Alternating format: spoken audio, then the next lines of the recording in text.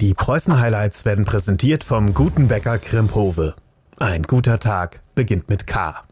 Das Essen wieder zu übernehmen. Startet gut rein. In der fünften Spielminute. 1 zu 0 gegen den Bonner SC, die ja eigentlich richtig, richtig auswärtsstark sind. Zuletzt vier Auswärtssiege aus vier Auswärtsspielen im Jahr 2022. Aber Preußen Münster übernahm früh die Kontrolle. Die nächste Chance hier nach der Flanke von Henok Teklapp. Knapp 5000 Leute wieder im Stadion heute sahen dieses Spiel und früh weiteren Druck von Preußen Münster. Torben Deters mit der nächsten Chance. Aber Kevin Burke im Kasten souverän. Und dann dieser Freistoß. Aber was viel interessanter ist als diese Freistoßsituation ist, was davor geschehen ist. Der Schuss ging nämlich vorbei und Bonn war nach dieser Szene nur noch zu zehnt.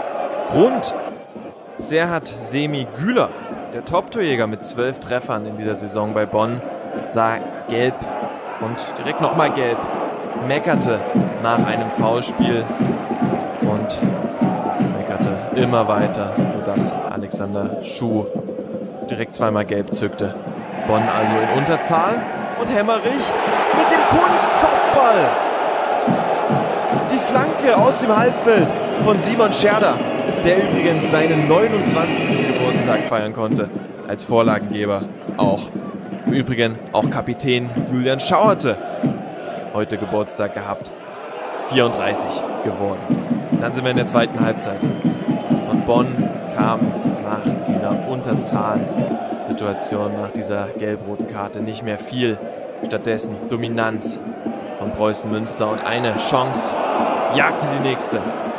Wieder war es Detas, der hier den Abschluss suchte. Dann sind wir schon in der 73. Spielminute nochmal aus der Distanz.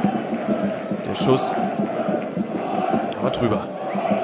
Ja, und so sickerte dieses Spiel dahin. Von Bonn gab es in diesem gesamten Spiel keinen wirklichen Torschuss. Stattdessen immer weiter Preußen Münster.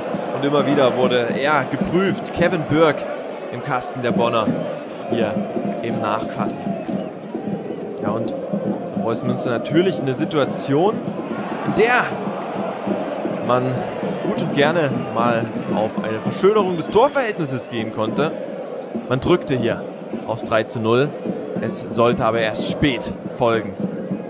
Zwei Minuten Nachspielzeit. Wir sind in der 91. Und der eingewechselte Jan Dahlke mit dem 3-0. Kevin Burke im Kasten kann es nicht fassen. Aber der Ball war hinter der Linie. Preußen Münster gewinnt mit. Die Preußen Highlights werden präsentiert vom guten Bäcker Krimphove. Ein guter Tag beginnt mit K.